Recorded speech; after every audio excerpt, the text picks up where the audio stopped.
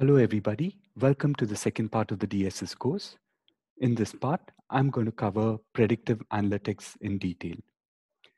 Personally, this is one of my favorite courses. I hope you will also find it interesting and useful. This course is largely structured around labs with some lectures in between. In the labs, we are going to use Python programming language. The reason why we chose Python is because uh, Python is becoming increasingly relevant these days. While it has very good and high-end functionalities, it also is quite easy to learn and program on. Of course, there is a small learning curve uh, required for you to pick up Python and use all the functionality provided by Python. I hope this, this part of the course will help you get through that learning curve and will make you comfortable in using Python. If you do not have any background in Python, I request you to go through some of the prerequisites that have been mentioned in Canvas and in the syllabus that I circulated.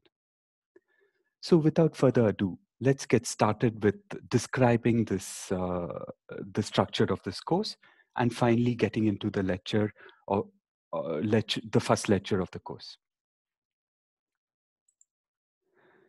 So the course is, is structured as follows.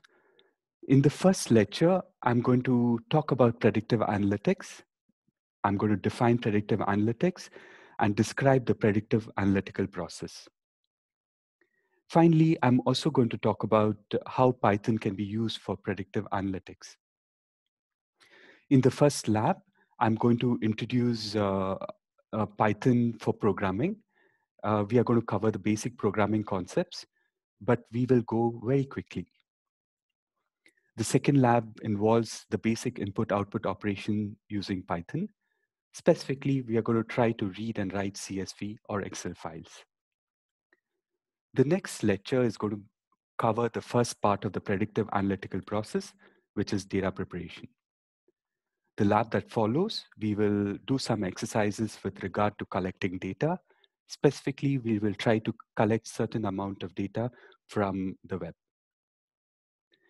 The next lecture is going to be on modeling and analytics. We are going to place focus towards supervised learning techniques. And in the lab that follows, we will do some exercises with supervised machine learning. The next lecture is going to cover common learning algorithms. Specifically, I'm going to talk about decision trees and association rule mining. Over here, we are not going to use Python, but rather we will try to solve certain exercises on paper. The last class is going to be student presentations. That is, uh, you're going to present in groups an exercise that is given in lecture two. The exercise is quite interesting, and I really look forward to the interesting solutions that you come up uh, to so, interesting solutions that you will come up in the in that exercise. So let's go on to today's lecture's objectives. So basically, uh, into in today's lecture, uh, I plan to cover three important aspects. The first, the first aspect is predictive analytics. I'm going to define predictive analytics and try to investigate some of the new considerations in predictive analytics these specifically, I'm going to cover the, the uh, emergence of big data in organizations and the integration of social media into, into the day-to-day -day activities of individuals and organizations. In the second part, I'm going to cover pre the predictive analytical process. I'm going to define the predictive analytical process, and I will take you through the steps involved. And the steps are defining the objective, preparing the data, modeling and analytics, and finally validation and deployment.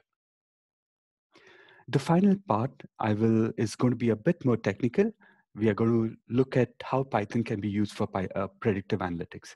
I'm going to start with open source software and describe how open source software benefits Python and other programming languages. Finally, I'm going to briefly describe the important programming concepts that we will cover in the subsequent lab.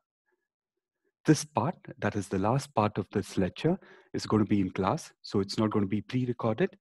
And I, and I look forward to, to taking this part with you in, uh, in the Zoom sessions.